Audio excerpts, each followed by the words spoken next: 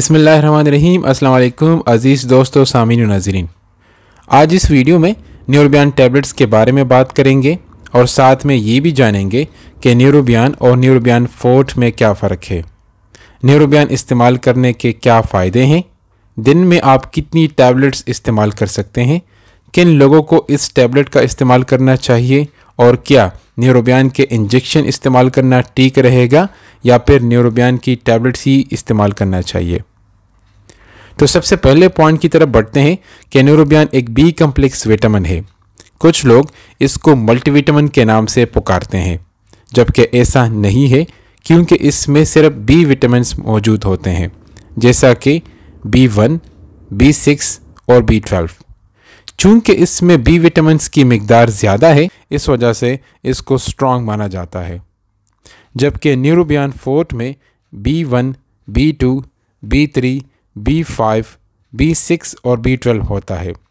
Neurobion fort में ज़्यादा B vitamin मौजूद होते हैं तो इसके फ़ायदे भी नॉर्मल न्यूरोबियान से ज़्यादा होते हैं। अब न्यूरोबियान टैबलेट्स के क्या फ़ायदे हैं? सबसे पहला ये कि न्यूरोबियान फट्टों को मज़बूत बनाती है, पट्टों में खिंचाव ख़त्म करती है। खून की कमी को ख़त्म करने के लिए आप न्यूरोबियान की टैबलेट्स या इंजेक्शन इस्तेमाल कर सकते हैं।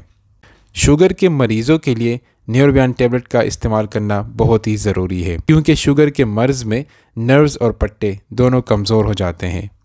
न्यूरोबियान के इस्तेमाल से एक तो जिसम में मौजूद शुगर से तोानाई बनने का अमल तेज़ हो जाता है, जिसकी वजह से न्यूरोबियान के इस्तेमाल से शुगर के मरीज़ों में थकावट और सुस्ती कम हो जाती है। टेंशन और डिप्रेशन के मरीज़ों के लिए न्यूरोबियान की टैबलेट्स इस्तेमाल करना चाहिए, क्योंकि न्यूरोबियान में मौजूद बी कम्प्लेक्स विटामिन्स दिमाग और आसाब को ताकत देती है और टेंशन और डिप्रेशन के अलामत को कम करती है। इसके अलावा ये मेटाबॉलिक रेट को बढ़ाती है और क़वती मुदाफ़त को भी बढ़ाती है। दिन में आप कितनी न्यूरोबियान की टैबलेट्स इस्तेमाल कर सकते हैं?